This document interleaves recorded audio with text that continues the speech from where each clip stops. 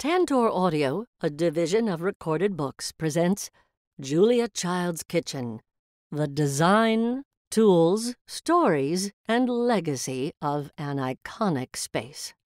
By Paula J. Johnson. Foreword by Jacques Pepin. Narrated by Jacques Pepin and Elizabeth Wiley. Foreword A Place of Happiness. Julia's kitchen on Irving Street in Cambridge, Massachusetts, where she cooked many meals for her family and friends, was a place of joy, conviviality, and entertainment. It was certainly different from the way a kitchen was generally seen in the American food culture of the 60s. A dreary, joyless, boring part of the house. American women were trying to escape the drudgery of kitchen work. But for Julia, it was a place of happiness.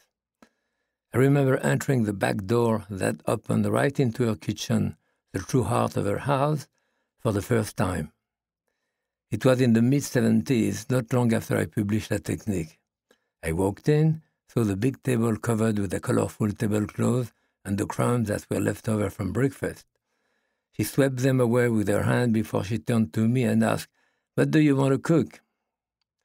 We had met for the first time at Helen McCully's apartment in New York City in 1960, and we had cooked together that first evening.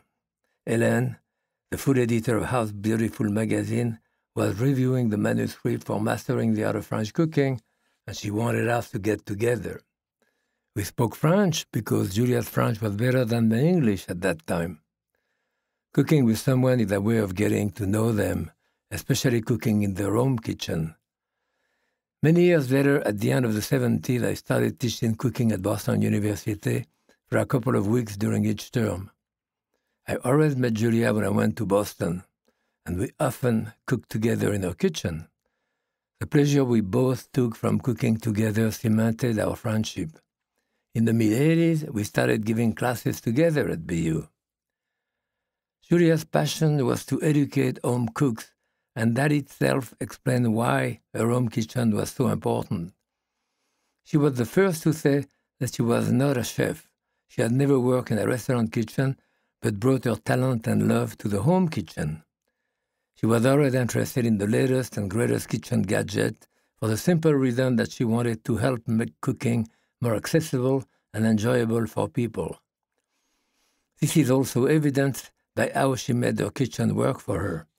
Everything was there food processor, blender, mixer, large butcher block, pestle and mortar, and especially our big love, the large six burner Garland stove, a professional, powerful stove that she put to good use. The counters were made to be comfortable for her height. The pegboard wall kept a big area of copper and cast iron pots and pans within reach at all time. Pots and pans were not to be hidden. They were decorative, handsome, and worth looking at. She was breaking free from a culture that imagined cooking was not worth people's time. On the contrary, cooking for her was to be shared, enjoyed, and experienced together. Julia elevated food from something that was simple, necessary fact of life to something that should be celebrated and considered with care and prepared with love. She also felt that cooking should be enjoyed and shared every day, not just on special occasions. That connection with food was what she wanted to share with people, and her kitchen was where that sharing happened. In 2001, I cooked with Julia in her kitchen the day before the Smithsonian came to disassemble and move it to Washington, D.C. It was a last hurrah as well as a dinner to raise money for charity.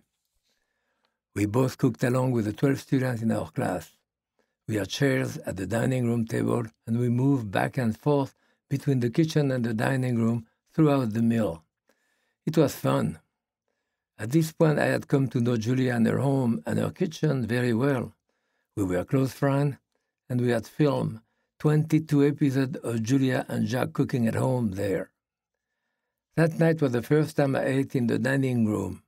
And I remember that we made corn and oyster chowder and apple galette, classic dishes that Julia liked to prepare and eat. I appreciate the Smithsonian preservation of her wonderful kitchen, and I'm happy to be part of sharing its history with everyone. I know that the memory of these meals we cooked together and shared together in their home kitchen will stay with me the rest of my life. We had fun, we drank wine, we share ideas, we argue, but most of all, we love our special time at the stove and around the table. Happy cooking, Jacques Pepin, 2024. Introduction The Value of the Real Thing. On August 18, 2002, three days after her 90th birthday, Julia Child stepped into her home kitchen, turned around slowly, and declared, I feel like turning something on and starting to cook. Under normal circumstances, this wouldn't have been an unusual comment. But Julia was in Washington, D.C., and inside an exhibition at the Smithsonian's National Museum of American History. The exhibition featured her home kitchen from Cambridge, Massachusetts, with every appliance, pot, pan, knife, and work of art placed precisely where it had been a year earlier when she closed the door on her Cambridge home after 40 years as America's favorite television cook, author, teacher, and gastronomic muse to return to her home state of California.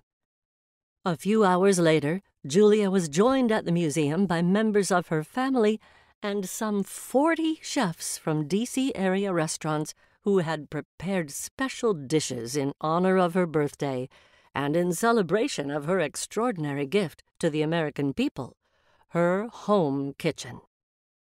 Julia Child's kitchen, the design, tools, stories, and legacy of an iconic space, reveals the story of Julia Child and her famous kitchen from the moment she and her beloved husband Paul began renovating it in 1961 to the whoops of delight as visitors to the museum discover anew, or yet again, the kitchen where Julia tested recipes, rehearsed cooking programs, and cooked with and for family and friends and where three of her television series were taped in the 90s. In the numerous articles, books, feature films, documentaries, and television shows that are still broadcast and available online, Julia herself is always the star, as well she should be. Julia is at the center of this book, too. But the story is told through her kitchen and the objects within a story she began narrating herself almost as soon as the blue green paint was dry on the kitchen cabinets. As we will learn in the chapters ahead, Julia spoke about her kitchen in great detail to journalists and food media, writers eager to interview this thoroughly charming and disarmingly knowledgeable woman about her popular cookbooks and television series. Julia often brought the conversation around to her home kitchen, describing the functional arrangements and aesthetic vision for her favorite room in the house. Over many years, she introduced readers and television audiences to specific tools that she used in her home kitchen, which was pictured regularly in popular publications from House and Garden to Architectural Digest the New York Times Magazine, the Boston Globe, and many more. There was nothing mysterious or secretive about Julia Child's home kitchen. She made sure people knew that a serious cook needed a serious workspace. If Julia was the original narrator of her kitchen, this book picks up the narrative thread to reveal its, and Julia's, ongoing significance and legacy. As one of the museum staffers who met with Julia in 2001 to discuss the future of her home kitchen, I have spent much of the past 20 odd years immersed in American food history and delving deeply into the stories behind this marvelous room. I have had the joy and benefit of learning from and alongside my museum colleagues as we examined more than 1,000 objects that we collected and together created exhibitions and programs that have placed Julia and her kitchen into the larger context of American social and cultural history. But I must confess that cooking had never been my passion. Staying out of the kitchen was my goal as a college student in the 70s, when supporting the Equal Rights Amendment and the National Organization for Women appealed to my idea of a path to a bright future that could somehow accommodate my ambitions for a career outside the home. But after moving from the Midwest to the East Coast and entering the museum field in 1981, I became more aware of how food and culture intersected. The worlds that opened up by experiencing a variety of cuisines, plus the allure of fine dining, and the sensory jolt from encountering truly fresh ingredients awakened something that had lain dormant.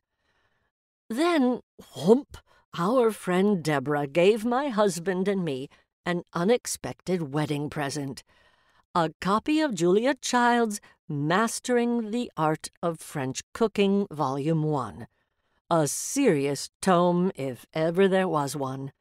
Curious, we started in with boeuf bourguignon, a dish we had seen Julia prepare on her television series, The French Chef, in 1963. Transformational. We gingerly moved on to other recipes as if we were taking a course on cooking. And of course we were, not realizing that we were part of a large cohort of Americans who were adjusting their thinking about food and cooking. As the years have gone by, and especially since meeting Julia and collecting her entire home kitchen, I have found that her message about being open to trying new recipes and cuisines and enjoying the social and creative process of cooking resonated even with me.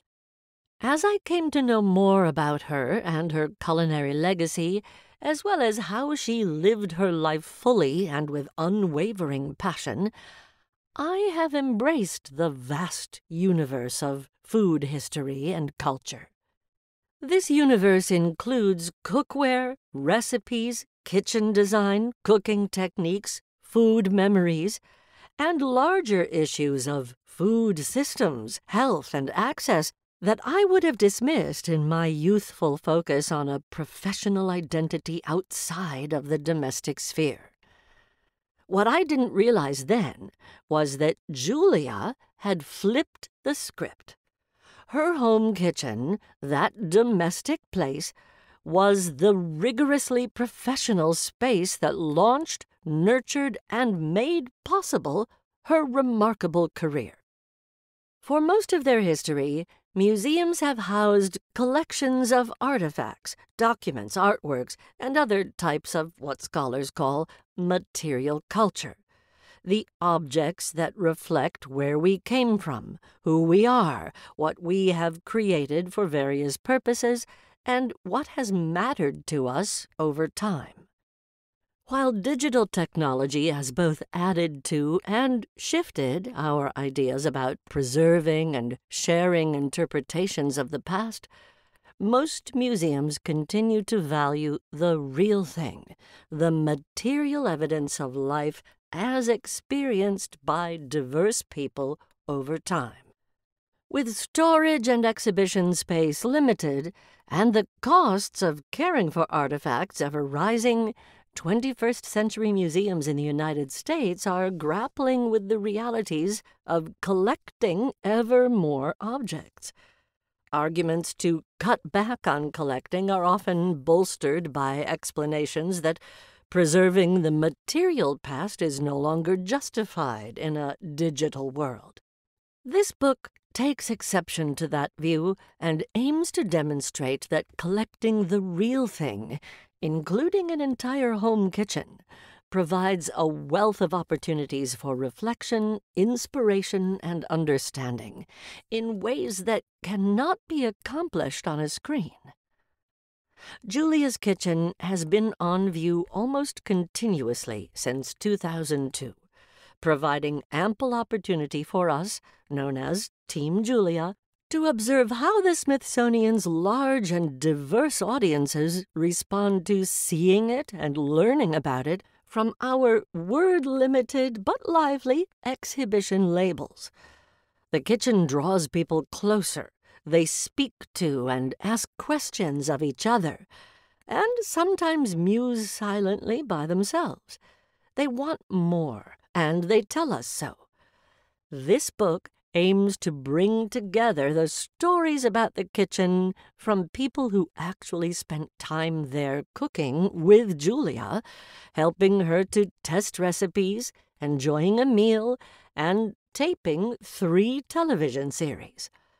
Listeners can skip through at their leisure and access the backstories of objects, including tales that go beyond the familiar themes, such as more butter and dropping a carcass on television, that, true or not, are firmly ensconced in the popular imagination surrounding Julia Child. This is a chance for us, after caring for, another way of saying curating, the kitchen for two decades, to share the stories we've learned in our research to answer questions asked frequently by our visitors, and to offer listeners a window into Julia's formidable legacy. Julia Child was an extraordinary individual whose influence and legacy continued to expand even 20 years after her death in 2004.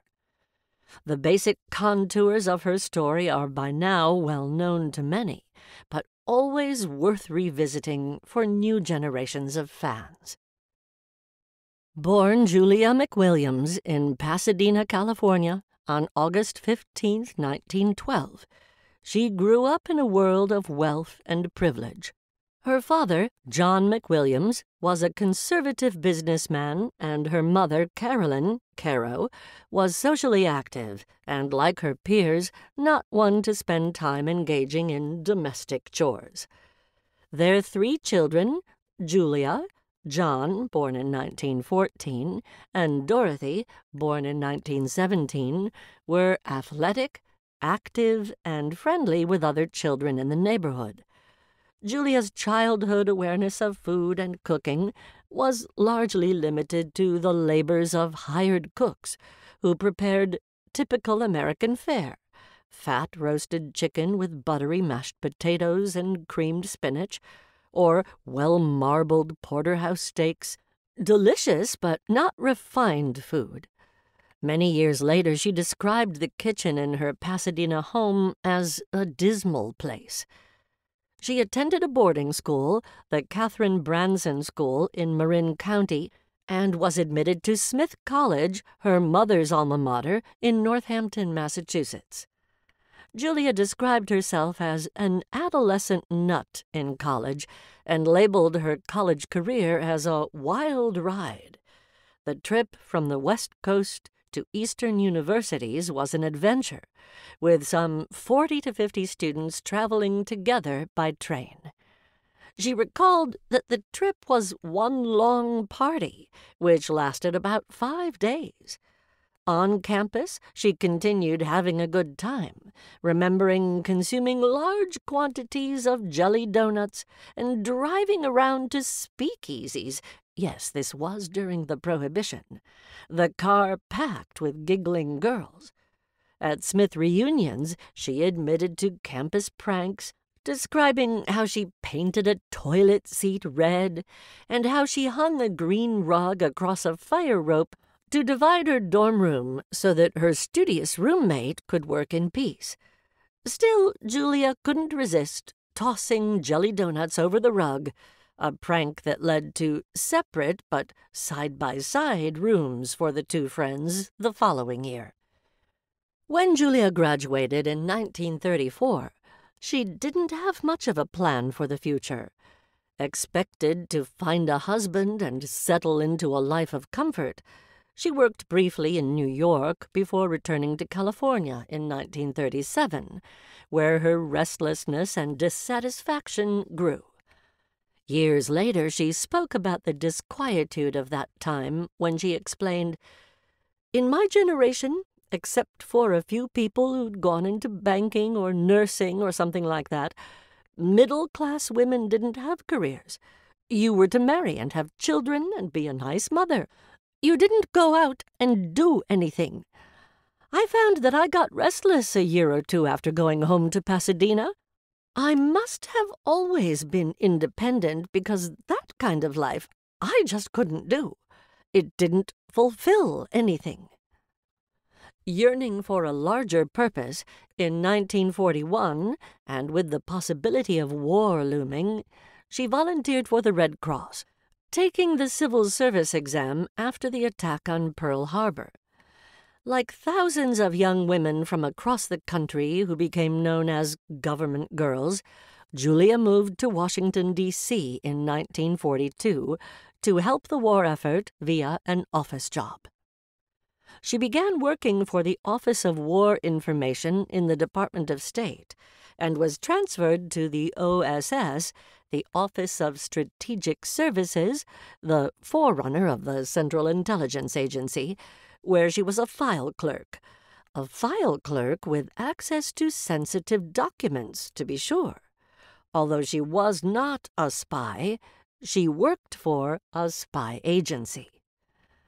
To her excitement, Julia was selected to travel to remote areas of the world on behalf of the OSS an opportunity that fed her curiosity about lives lived outside of her limited experience. It was on this assignment that she met Paul Child, her future life partner, who had been hired by the OSS for his considerable artistic skills to create maps, charts, and diagrams. Child was also a photographer, writer, poet, and Renaissance man who was ten years older than Julia and had already traveled the world and experienced the pleasures of good food and wine. Their work assignments took them and their colleagues to Sri Lanka, then known as Ceylon, and China, where Julia's senses were jolted awake. She found Chinese food wonderful and later declared, The war was the change in my life.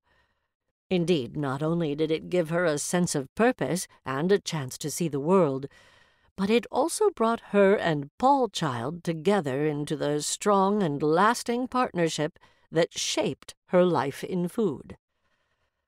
After the war, their OSS work came to an abrupt halt as the unit was summarily disbanded. The couple married in Pennsylvania in 1946 and moved to Washington, D.C., where they lived in Georgetown and purchased a house on Olive Street in 1948. Soon after, they departed for Paris, where Paul served as the exhibits officer for the U.S. Information Service. Julia's palate was aroused again when they stopped in the historic city of Rouen for a meal of perfectly prepared sole meunière, salade verte with vinaigrette, her first real French baguette, a bottle of Pouilly-Fumé, a dessert of fromage blanc, and dark, strong café filtre. She recalled that at La Couronne I experienced fish and a dining experience of a higher order than any I'd ever had before. This epiphanic meal, enhanced by the excitement of embarking on a new life chapter in France with the husband she adored, clarified for Julia that her restless yen for something more was crystallizing around her passion for food and her desire to learn the fundamentals of French cooking and cuisine. Off she went to culinary school, but not just any academy, but the famous Le Cordon Bleu, where she spent two days in a course for women that Julia judged too elementary for her level of knowledge and ambitions. The school's owner, Madame Elisabeth Brassart, declared that Julia was not advanced enough for the haute cuisine course, but offered her a spot in a class for professional restaurateurs. Julia accepted and met her fellow classmates, 11 former GIs who were enrolled under the auspices of the GI Bill of Rights. Looking back, she remarked, Luckily, I had spent most of the war in male dominated environments and wasn't fazed by them in the least. Though she was the only woman in the class, at six feet three inches, she stood taller than her French instructors, as well as her fellow American students. At age 38, Julia turned out to be a serious student after all, and with a great deal of practice and diligence, she mastered the techniques of classical cuisine at Le Cordon Bleu. As the spouse of an American diplomat in post war Paris, she also had an active social calendar and met many people, including two French culinary experts, Simone Simca Beck and Louisette Bertholle, with whom she formed key relationships. The three set up an informal school in Julia and Paul's apartment for American women wishing to learn the basics of French cuisine. Called L'École des Trois Gourmands, the School of Three Hearty Eaters, they used these teaching sessions also to test their ideas for a cookbook, one that would teach American home cooks the fundamental techniques and recipes of French cuisine. This experience revealed to Julia her love and affinity for teaching and learning, which never diminished throughout her long life.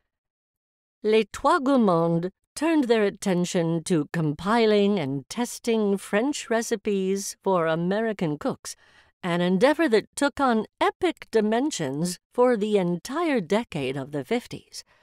As told by Julia and her great nephew Alex Prud'homme in their 2006 book, My Life in France, as well as in her voluminous correspondence published in As Always, Julia, edited by Joan Reardon, the three friends, strong personalities all, took very different approaches to writing and testing recipes.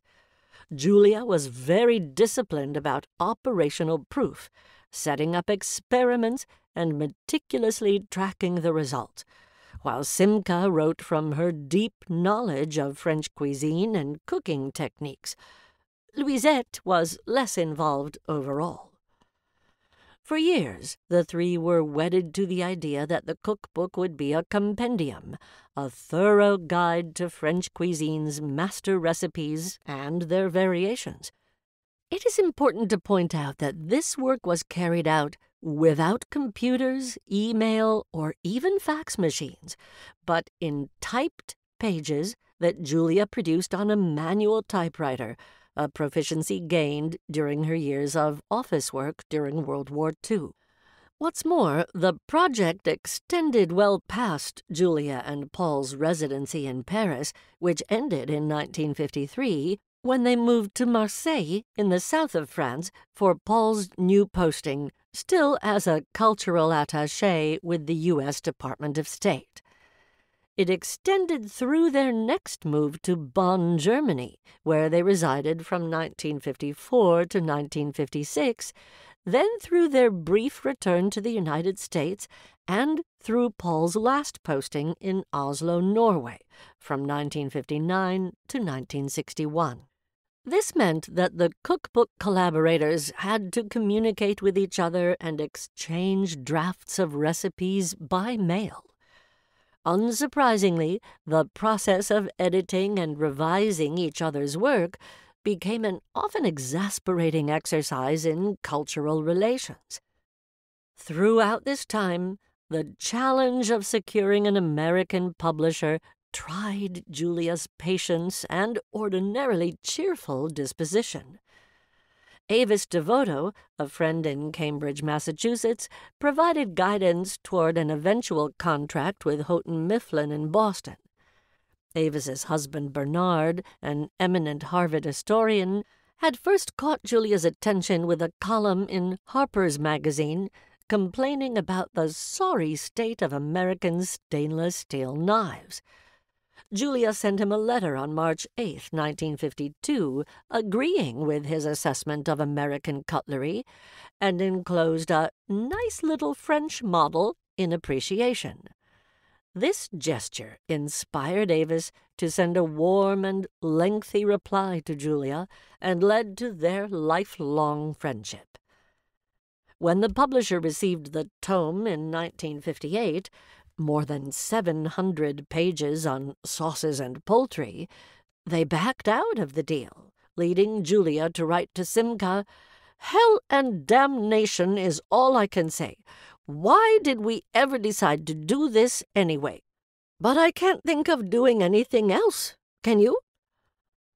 The following year, with Avis's skillful intervention, a revised and improved manuscript was sent to a New York publisher, Alfred A. Knopf, where a young editor, Judith Jones, immediately grasped the value of the work. Years later, she wrote, from the moment I started turning the pages, I was bouleversée, as the French say, knocked out.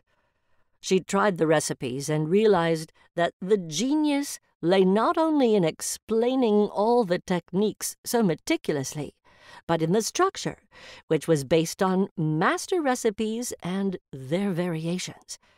Once you had done the basic boeuf bourguignon and absorbed all the essential information, you could apply that know how to other stews and braises in almost any cookbook. She championed the manuscript to her colleagues and to Mr. Knopf himself, who famously joked he would eat his hat if anyone bought a book with the title Mastering the Art of French Cooking. In 1959, the Childs purchased a house at 103 Irving Street in Cambridge, Massachusetts, with the encouragement of Avis DeVoto, who would now be a neighbor as well as a close friend. Before they moved in, however, they departed for Oslo, Norway, Paul's last posting for the State Department. In every place they lived or visited during Paul's Foreign Service career, Julia made it her business to frequent the local bakeries as well as the vegetable, meat, and fish markets to learn about local culinary customs and to acquire kitchen tools and equipment for her ever expanding batterie de cuisine, the term she often used for her kitchen equipment, and Oslo was no exception. There she made some key acquisitions including her kitchen table and chairs, which we will learn more about in the chapters to come. By 1961, Paul Child, at age 59, had had enough of government work, and as he and Julia thought about his retirement, they imagined a life in Cambridge that would involve reading, writing, painting, cooking, entertaining, and traveling. That idyll didn't last. No one could have predicted what would come next and how their lives would revolve around food and cooking, with their home kitchen as the center of a new creative chapter in American culinary history, and with Julia as the star. Chapter 1 The Kitchen Needed Complete Rethinking. Three major life events converged for Paul and Julia Child in 1961. Paul retired from his State Department career. Julia's first cookbook, Mastering the Art of French Cooking, Volume 1, was published, and the pair moved into their Cambridge house, which became their permanent home together and their base of operations during the as yet unimagined adventure that would be the rest of their lives.